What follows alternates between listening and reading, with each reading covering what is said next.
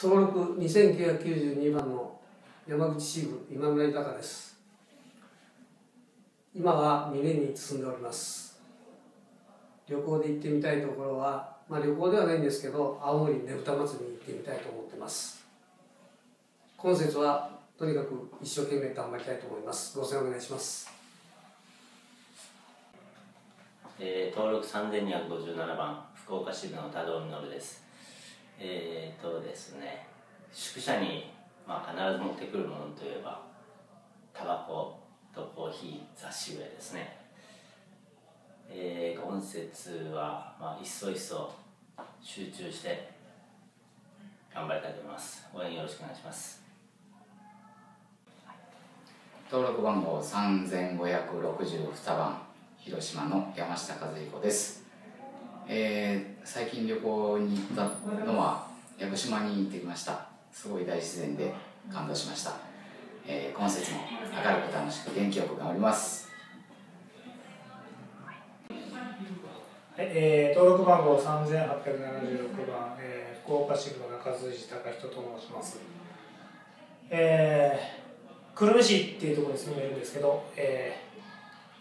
ー、ブリヂストンがあってゴムの町で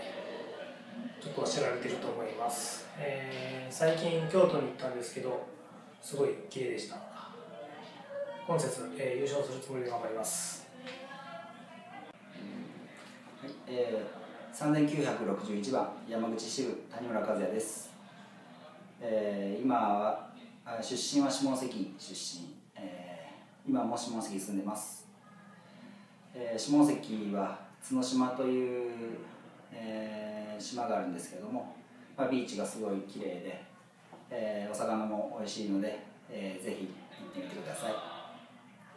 えーと、宿舎には、えー、必ず前枕と、えー、DVD を持って行って、えー、映画鑑賞などをしてます、えー、今節は気も変わって、えーまあ、心機一転頑張りたいと思います、優勝を目指して頑張りますので応援よろしくお願いします。えー、4022福岡支部町鳥ゆうきです。えー、と旅行は、えー、ちょっと石垣島が好きなんで、えー、夏になったら大体行ってるんで今年も行きたいと思います。えー、今節は、えー、木の始まりで、えー、最初から飛ばしていきたいと思います。